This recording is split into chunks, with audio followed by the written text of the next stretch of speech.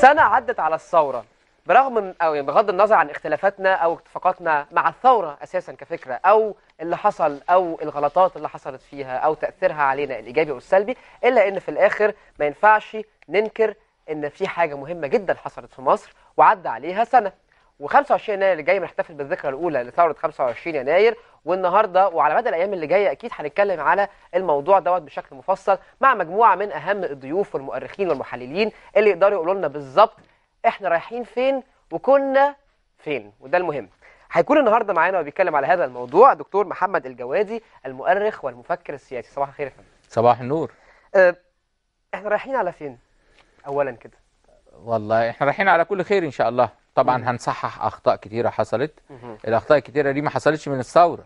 وإنما حصلت من استيعابنا لفكرة الثورة. يعني إحنا الحقيقة كمجتمع لا يزال بحاجة إلى تجديد أفكاره لمعنى الثورة. الثورة في جوهرها تعني التقدم تعني ال- الاتجاه إلى المثل العليا تعني الحق والخير والجمال.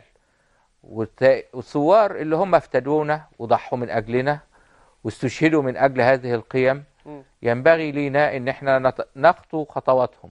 ونتمنى على الله سبحانه وتعالى إنه يرزقنا الشهادة من أجل بلدنا ومن أجل مهم. وطننا ومن أجل ديننا ومن أجل القيم اللي بندافع عنها ومن أجل الحفاظ على حقوقنا المكتسبة. فرايحين على فين يحددها مدى تمسكنا بروح الثورة. مهم. إذا كان في ناس مش عايزة تتمسك بروح الثورة فهي تظن نفسها هتعيش والثورة هتموت أنا بقول لهم بمنتهى الأمانة وبمنتهى الحب والإشفاق إنه احرص على الموت توهب لك الحياة. ولو ما كناش نحرص على الاستشهاد من أجل الثورة ومن أجل القيم الجميلة هنموت من أجل قيم زائلة وهيبقى مصيرنا إن إحنا خسرنا الدنيا والآخرة. طيب خلينا يا فندم نتكلم على التأريخ للعام الأول من الثورة. لو حضرتك كده بتكتب كتاب وبتأرخ للعام الأول هتقول إيه؟ تبتدي منين؟ العام الأول للثورة ما ابتداش من العام الأول للثورة. ابتدى من 60 سنة قبلها أو من 59 سنة قبلها. مم. شعب كان بيعيش حياة ليبرالية فيها حرية وفيها قيم جميلة قبل كده من سنة 19 ل ل 52 أو تحديدا من 22 ل 54 مهم. ثم بسبب ما سمي ثورة 52 ابتدى يفقد حاجات كتيرة كانت متاحة ليه. صحيح حصل نوع من أنواع العدالة الاجتماعية حصل نوع من أنواع الإيهام ببعد قومي أو إيهام بدور إقليمي مهم كان موجودا قبل 52 بأكثر من وجوده بعد 52 لكنه قبل 52 كان يستنزف أو يأخذ آه، زاده من أو يروى من القوى الناعمة. في ما بعد 52 أصبح يروى برصيد مصر من الذهب. يعني. بقينا نصرف عشان منظرنا ومظهرنا وصورتنا قدام العالم. ف... ودخلنا في حروب لم يكن لها داعي زي حرب اليمن. وفي نزاعات لم يكن لنا داعي إن إحنا نخش فيها. سرعان ما حدث 67 واستعدنا ثقتنا في نفسنا في 73 وابتدينا نصحح الأوضاع. ثم ركنا إلى ما تم تحقيقه من تحت شعار الاستقرار.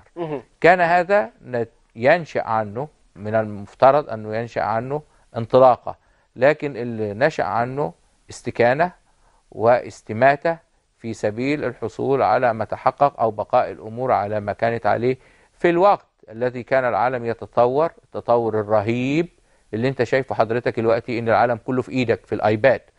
أنت دلوقتي العالم كله في إيدك بينما أنت حكومة وجهاز إداري ما فيش في إيده رقم عن أي حاجة. تحصل أزمة بنزين تحصل أزمة بوتاجاز تحصل في بيقولوا أزمة إيه؟ تفاوت تحصل- سرعات. تفاوت سرعات. التفاوت السرعات الرهيب ده لدرجة إنه أزمة ال- الأوتوستراد اللي من يومين دي. أزمة رمل وزلط. إنه الناس كانوا بياخدوا الرمل والزلط من المحاجر فواحد عبقري طلع في دماغه إنه ياخد منهم فلوس. فبعد ما كانوا بيجيبوها من محاجر قريبة المحاجر القريبة خدوها رجال الأعمال ما هم دلوقتي بيروحوا مشوار طويل يدفعوا كارت آه، طريق يدفعوا يدفعوا وكمان واحد عبقري وزير عبقري جديد جاي عايز ياخد منهم 400 جنيه. فالناس قطعوا الطريق. فناس باتت في الاوتوستراد من يومين. ولم يعاقب هذا الوزير لم يعاقب هذا المسؤول. ترجع ت- تلقي ال- العقاب على الشعب وتلوم الشعب. الشعب طب يعني الناس هتعمل إيه؟ ناس عليها أقساط وناس عليها هي حلقة مفرغة زي ما بيقولوا يعني. ما إحنا هنتكلم ما إحنا قبل ما نقول الثورة عظمتها إنها تكسر الحلقة المفرغة. مم. عظمة الثورة إن تكسر الحلقة المفرغة وتخليها خط مستقيم. وأي حلقة مفرغة أي اسورة زي ما بنقول مم. أنت لو مديتها عند الراجل السائق هتبقى طريق مستقيم. فأنت الش... الش... الش... الشطارة بتاعت السياسي شطارة رئيس الوزراء إنه يعيد صياغة الذهب. يعني أنا قدامي حلقة مفرغة أكسرها وآخدها أسيحها وأعمل منها من أول وجديد طريق مستقيم. بنسمع كتير جدا يا فندم وخصوصا خلال العام اللي فات على مصطلح اسمه بالظبط كده العدالة الانتقائية. اولا هو يعني إيه العدالة الانتقائية؟ وهل هي اتحققت أصلا في أول سنة من الثورة ولا لأ؟ لا هو- أنت مش عايزها تتحقق. ده هو المصطلح ما مقصود به إن مش عايزينها تتحقق. آه. انه إن أنت تنتقي من تحكم عليه ومن تحوله. يعني مثلا من المعروف إنه في ثلاثة من الوزراء السابقين. أجمع الناس على فسادهم وصارت الركبان بالحديث عن فسادهم.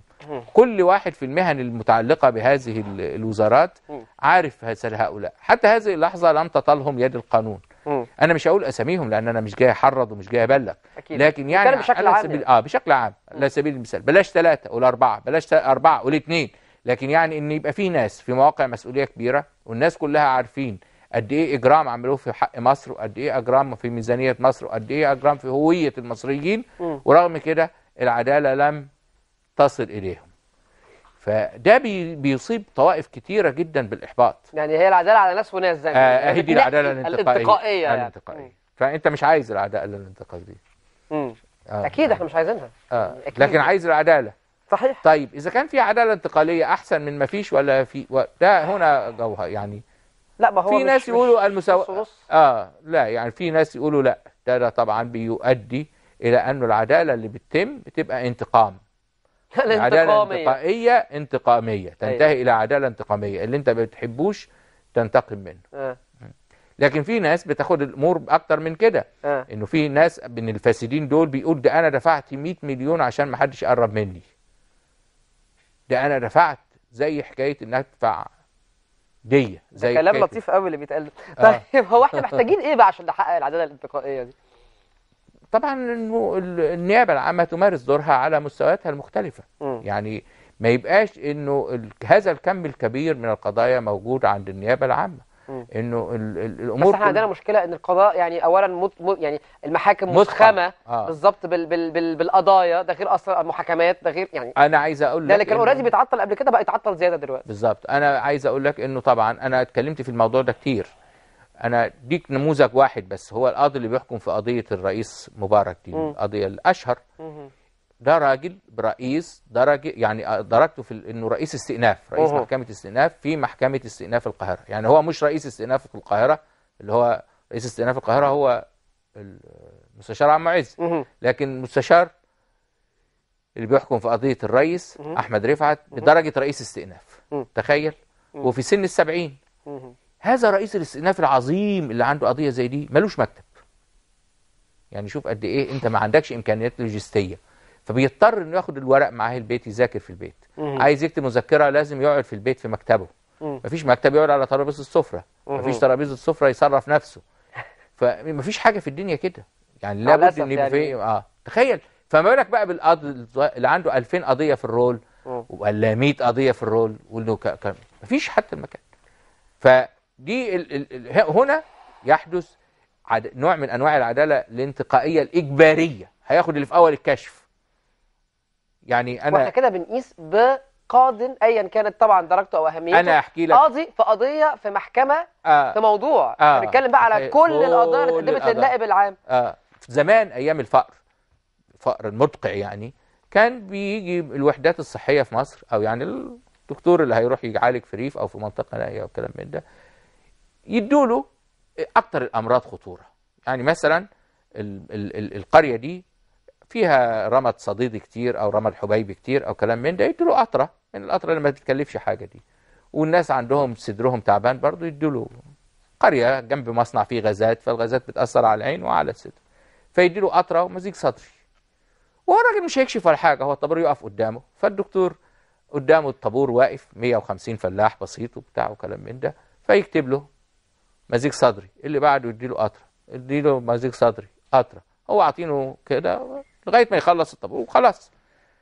فبعدين آه، واحد من العيانين قال له أنت يا دكتور كتبت لي مزيج- صدري ده عينيا اللي بتوجعني. قال له بسيطة بدل مع اللي وراك بدل مع اللي وراك. وهو ده اللي إحنا فيه دلوقتي. فأنت دلوقتي ال- العدالة الانتقالية هتقودك. بعد شوية إن بدل مع اللي وراك. مرة. تدي إيه؟ لا ما هو يعني إحنا بنتكلم يعني ده إحنا يمكن دخلنا بالتفاصيل في الشق دوت بس آه. ده من ضمن ال لا، ما هو ده يعني سؤالك، المشاكل آه. لا وبعدين آه. كمان ما هو ده مهم وما عندنا إحنا فعلا عندنا أوجه كتيرة أو زي ما بيقولوا إيه قطاعات كتيرة جدا في البلد أو في مجتمعنا محتاجة مش تطهير حتى التطهير ده إحنا عندنا محتاجة إعادة من اول وجديد هيكلة أصلا أنا اتعودت إن أنا تلميذ شاطر فأنا بجاوب على قد السؤال عشان تديني درجة كويسة ماشي فهو أنت سألت عن دي فأنا آه، اتكلمت عنها طبعا حضرتك من حقك إن أنت تمتد بده للحاجات التانية. طب أنا بقى نموذج. وهقول آه. على اصطلاح تاني بعد ما دخلنا أيوه بس ما تتغرش قوي لا مش هتغير بس في امتداد تاني عندك الع... الثورة الكاشفة. ده برضه مصطلح تاني. آه طبعا. اللي هي كشفت عن الفساد مفروض وكشفت عن مشاكل كتيرة قوي آه، رأيك ط- إيه برضه في المصطلح؟ طبعا في ال في ال في ال في في ال في, ال في القانون إحنا عندنا القان- القانون نقول عنه قرار منشئ وقرار كاشف. قرار منشئ اللي هو أنشأ الوضع الجديد لكن لازم يطلع قرار كاشف زي القرار المختوم اللي تروح تتعامل بيه فالثورة دي بما بلورته من تغيير التغيير القليل اللي عملته في تغييرات كتيرة لسه ما تمتش كشفت. يعني إن أنت بتشيل فلان وبتحط فلان بتكشف عن فساد فلان بتسجن فلان بتكشف عن فلان بتحكم على فلان ده. يعني لا تستطيع دلوقتي إن أنت تنجي يوسف بطرس غالي بعد الأحكام الكتير اللي خدها. إن بقى في طريقة تانية انه يقعد نكذب على ونقول إن إحنا ده إحنا قلنا لبريطانيا وما قلناش لبريطانيا لا. يعني ده واضح ووضوح الشمس وإنه خد احكام وكده إن أنت عايز تنقذ يوسف بطرس من هذه الأحكام وما وتسيبه اللي هو التعبير البلدي بتاع الناس اللي يقول لك سايبه يبرطع في بريطانيا ده بتكشف بقى نفسك مم. يعني إذا أنت بقى كده يبقى في هنا ساعة الجد بقى هتقول أنا عايز السفير المصري في بريطانيا أجيبه حاكمه مم. عايز الناس اللي في السفارة المصرية في بريطانيا كل دول اللي عارفين إن ده الراجل ده عمال كده عايز أجيب ال- الوحدة الانتربول ال- ال- المصري في الانتربول الدولي. يعني هي مش كاشفه بمنطق إن هي كشفت عن الفساد لا. هي كاشفه بمنطق إن هي أيوه. سلسلة. ظلت تكشف عن يعني زي الضوء. أنت بتدور بيه على المفتاح لكن ممكن تلاقي جنيه واقع منك على الأرض. ده الكشاف لما تمسك الكشاف الصغير ده. ولذلك حتى كانوا زمان من ضمن التعبيرات الجميلة إحنا في علم اللغة لازم نشوف الألفاظ وتطورها والمعاني وتطورها. كان زمان بعض الناس ال- الفلاحين يقولوا على الكشاف ده الفتاش لأنه بيفتش بيه. فأنت دلوقتي الفتاش ده زي الثورة ابتديت بقى تفتش أو كانت فتاش فأصبحت كشاف. ف- فكشفت لك حاجة تانية بالمرة. أو مثلا كشفت لك إن في آه، ثقب في ال- في الجدار بيجي منه آه، أو ثقب واسع بيجوا منه القوارض الفيران والحاجات اللي زي دي. فأنت بتبتدي الثورة ما تعرفش إن هي هت- هتكشف لك ده كله. في حاجات كتيرة كانت مس- مستخبيه اتكشفت بالثورة. زي بالظبط اللي يقول لك أنا هوضب الشقه فيفتح حيكه في الحيطة فيلاقي الحيطة أصلا تحتيها الأرض مش عارف إيه آه، ويلاقي نفسه فجأة. يقول لك أنا كنتش عارف أعمل عمرة. طيب عيش حرية عدالة اجتماعية. هي دي الأهداف على الأقل العامة للثورة. هل الأهداف اتحققت في أول سنة؟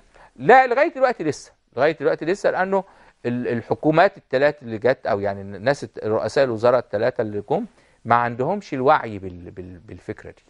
يعني ما زال مثلا الدكتور الجنزوري متصور إنه ال ال ال القضية في نفس المشاكل بتاعت سنة 97 ما حصلوش آه، تطوير لأفكاره تجاه مش عارف إن الدنيا مشيت. يعني تقول له ده ده القطر وصل اسكندرية.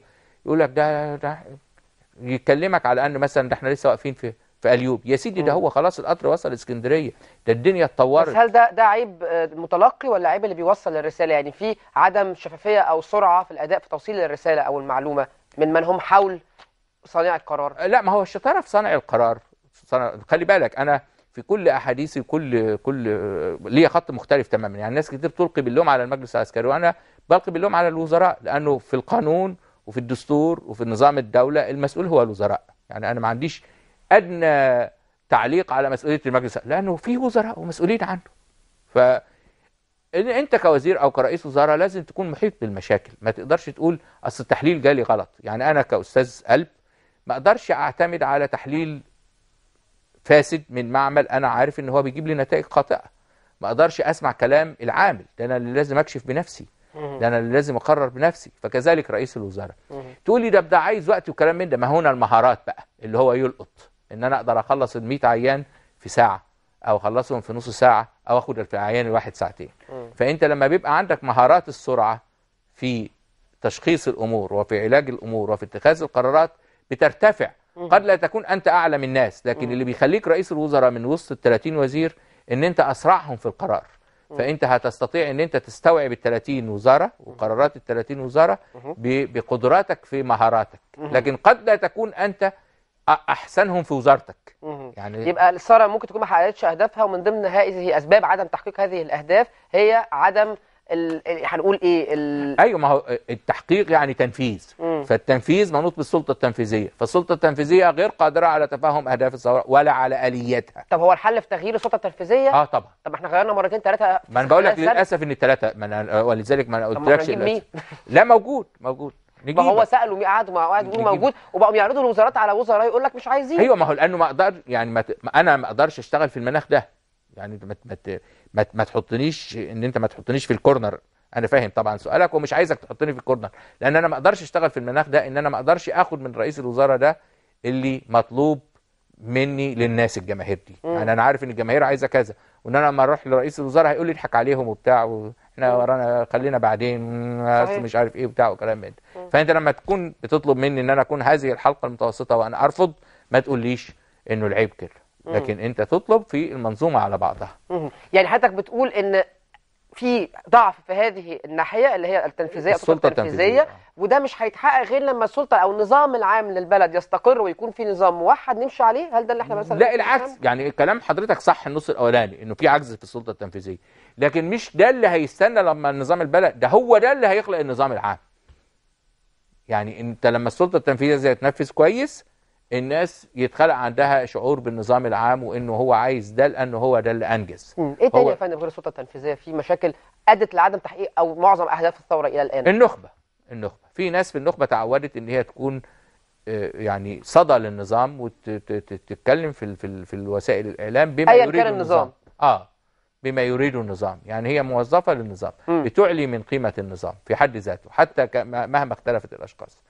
حتى إنها مم- ممكن تتخلى عن مبادئها. يعني تلاقي شيوعي بيتخلى عن مبادئه إسلامي بيتخلى عن مبادئه ليبرالي بيتخلى عن ليبرالي من أجل النظام. وهو يجد دائما العذر وال وال والتبرير لما يقوله الرئيس. ودول بقى طبعا طبعا بقى ما فيش رئيس. ما أنا جاي لك اهو ودول عندنا مثلا ناس كانوا بيشتغلوا للقذافي ناس بيشتغلوا لصدام وناس بيشتغلوا لنظام الأسد وناس بيشتغلوا لأنظمة كتيرة. الأنظمة دي سقطت وفلولها تجمعت في مصر. فالفلول اللي في مصر مش بس فلول النظام السابق وإنما عندنا كمان فلول القذافي وفلول صدام وفلول الأسد؟ فالفلول دي كلها مجتمعة ولدرجة إن فيهم ناس يقول مستعدين إن هم يعني يعني تعبير قاسي لكن يعني استخدموا أديب زمان انه انه إنه يعني عشان يطبل ممكن ياخد جلد بطن والدته يطبل عليه للنظام يعني شوف قد إيه يعني يتخذون من جلود بطون أمهاتهم آه، آه، أداة إيقاع عشان يطبلوا عليها لا للنظام مش باقي على حاجة زي ما بيقولوا يعني. الغريب بقى-. الغريب بقى آه. الغريب بقى إنه حتى في الموسيقى في علم الموسيقى نفسه إحنا بنسمى ال- ال- ال- ال- اللي بيطبل ده بنسميه إيه؟ ضابط إيقاع. فده ضابط إيقاع إن النخبة لما تشتغل ضابط إيقاع بهذه الطريقة يعني تاخد الكلام البسيط اللي بيقوله رأس النظام أي رأس النظام سواء رئيس ملك آه، ديكتاتور مجلس أي حاجة وتاخده وتعزف عليه. بطريقة ضبط الإيقاع دي. يصور للناس إن إن أنت بتسمع قطعة موسيقية يصور للناس إن أنت بتسمع سيمفونية يصور للناس إن دي أوركسترا. فده الدور ال- ال- ال- السيء اللي قامت به عناصر كتيرة من النخبة مهم. أعتز بيهم وأعتز بصداقتهم على المستوى الشخصي. لكن أرى إن هم آذوا الثورة وآذوا الشعب وآذوا أنفسهم وآذوا المجلس العسكري وآذوا مجالس الوزراء الثلاثة اللي شهدتها مصر طيلة هذا العام. طيب إحنا كان معانا أسئلة كتير الحقيقة بس أنا هضطر أختم بسؤال واحد عن الوقت يعني وسؤال مهم جدا إن حضرتك عضو في المجمع العلمي اللي يعني حرق في عهده مجلس الوزراء. عايز أعرف من حضرتك أو تطمنا على إعادة الترميم وهذا المشروع وسمعنا إن أمير ال- الدوحة هو اللي هيعمل القصة دي. يعني إيه الدنيا ماشية إزاي؟ فين في أي اتجاه؟ شوف آه هو ش- الشرقة ولا إيه. شوف هو أنا يعني أول واحد يعني لدرجة إن أنا في اليوم الحريق اتكلمت 40 مرة في أنا متألم وبكيت كثير واختنقت كثير في الشاشات آه، وفي الإذاعات وكل حاجة وما زلت مختنقا ومتاثر لكن اللي أنا أحب أقوله للناس كلها إنه مش المجمع العلمي اللي اتحرق مكتبة المجمع العلمي. المجمع العلمي الحمد لله كلنا سلام وكلنا موجودين والكيان نفسه موجود والكيان لم يصيبه لكن اللي, اللي أحرق أو اللي حصل له الحريق المكتبة. شأن شأن أي أي حريق يحدث. أنا مش بقلل من الحريق لكن يعني افرض إن كان حصل ماس كهربائي وحصلت الحريق الماس الكهربائي ما يبقاش هو الثورة. وما يبقاش هو البلطجية برضه. برضه أنا مش لا بدافع عن الثورة ولا بدافع عن البلطجية. يعني كل شيء يوضع في الحريق شيء من الطوارئ اللي إحنا بنعمل ضدها تأمين. وإلا ما كانتش شركات التأمين اتوجدت. واللي بنعمل لها إدارات مطافئ ودفاع مدني. وإلا ما كانش المطافي وال- يعني مش كل حاجة نسيبها تتحرق. طبعا إحنا بلغنا مبكرا جدا بحكاية الحريق. واتكلمنا في الإذاعات والتلفزيونات والكلام من ده. في تواطؤ طبعا من أجهزة الدولة ما فيش شك. أصلا اللي خلق المشكلة وإن يبقى في توتر في دي تصميم الدكتور الجنزوري على أنه يبقى رئيس وزراء. يا سيدي خلاص ما أنت بقيت رئيس وزراء قبل كده وكونك اتكلفت مرة تانية فأنت نلت التشريف. ليه مصمم؟ وإن أنت لازم تخش مكتبك والكلام ده. الازعرينا وفي النهاية ما دخلش مكتبه. خلي بالك يعني. برضه ضحي تم التضحية بشهداء وفي محمد محمود وفي مجلس الشعب. وسقط عصام شرف وسقط الجنزوري وسيسقطون وسأسقط أنا أيضا. يعني أنا مش لما كله يسقط هنفضل مين- لمين في الآخر. يفضل الروح. إحنا؟ يفضل روح. روح مصر لا تضيع لا تضيع فلازم نبقى عارفين ان. أيوه لازم أبقى عارف إن الباقي هو الروح مش أنا. يعني ما أدورش على بس بس امه بدون ما هو برجع أقول لحضرتك تاني مش دفاعا برضو بس امه بدون تاريخ وبدون ال- ال- الأمة اللي ما تحافظش على تاريخها ما تستاهلوش. أيوة. ببساطة. أيوه طبعا. أنا وإحنا أنا شباب بنقول كده يعني. أيوه أنا ما قلتش أنا أنا مش معارض ده. مم. لكن أنا أعارض إنه حد يطلع يقول إنه المجمع أهم من أرواح الناس. لا ما حدش قال كده. ما ده كان لا كمان. يعني. آه بس أنا قصدي أقول ده كان يعني يعني تجاوزات. احترام آه، كده فأنا. الحقيقة عشان يبقى ضميري صاحي زي ما كنت أنا اللي مختنق عشان المجمع. لكن لا يصل اختناقي إلى أن أقول إن المجمع أهم من الناس هايل رايح لفين برضو إحنا الترميم آه، وصل لفين لا إن شاء الله ماشي؟ كويس ماشي كويس ماشي يعني كويس. هل في مثلا بدأ بدأ في العمل ولا آه، لأ آه، آه. طب هل في تجميع إحنا بنكمل آه بنكمل المجموعات التي يمكن في في مكتبة استكمالها اسكندرية أجزاء وفي برضه في مكتبة لا لا لا لا من. الأشخاص حتى من الأشخاص ومن مم. المكتبات يعني ه- هنحاول إن إحنا يكتمل هذه المكتبة العظيمة وهذا المجمع العظيم سيبقى لأنه بقي قبل ذلك وما فيش حاجة في مصر أكيد. في جدول زمني يا فندم لده؟ آه طبعا طبعا. ما- في ممكن تعلن لنا عن أي يعني؟ يعني أنا أحكي لك إنه على سبيل لا، المثال إنه رغم إنه إنه إنه ده من باب اللياقة لا يجوز أيوه. إنه بعد وفاة أستاذنا الدكتور محمود حافظ أيوه. في نفس يوم وفاته اجتمع واختار نائب الرئيس اللي هو الدكتور إبراهيم بدران يبقى رئيس المجمع. ليه؟ عشان يبقى الكيان موجود. ما يبقاش إنه ده أصل الرئيس. أصل- يعني قد إيه المصارعة؟ يعني في الاجتماعات وفي اعتناء. آه طبعا. الاجتماعات لم لم تنقطع. التمويل آه، آه، نوقش ودرس وكل حاجة المهم. بقى التنفيذ دي أهم لا لا ماشيين في التنفيذ طيب أوكي إحنا كان نفسنا نعرف حضرتك أكتر من كده وآراء حضرتك يعني آه، مهمة و... وأعتقد إن مطلوب إن حضرتك تكون معانا أنا معجب. جدا بأسئلتك ومعجب جدا بحيويتك ويعني ميرسي فندم جدا ده من ذوق حضرتك. دكتور محمد الجوادي المؤرخ والمفكر السياسي بنشكرك شكرا جزيلا. وهنشوف إيه اللي هيحصل في السنة الثانية أو العام الثاني من الثورة. يا رب. مشاهدينا هنروح لفاصل ونرجع تاني مع الاحتفال أيضا بالثورة لأن في احتفال في شق احتفالي. هنعرف عنه أكتر بعد الفاصل.